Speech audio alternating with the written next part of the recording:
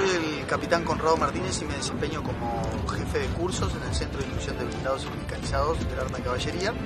Lo que hicimos esta mañana fue un tiro con los diversos armamentos colectivos con los que cuenta la unidad. Posteriormente se realizó tiro con las coaxiales del vehículo Cascabel y su cañón principal de 90 milímetros. El personal que, que seleccionamos para realizar el tiro fue un personal eh, relativamente nuevo en la unidad, tenemos desde los seis meses de ingreso hasta los tres años, tres años y medio, y lo que se realizó fue una introducción y una capacitación específica. Fue de un transcurso de tres semanas y eh, se finalizó con, con este ejercicio en el campo.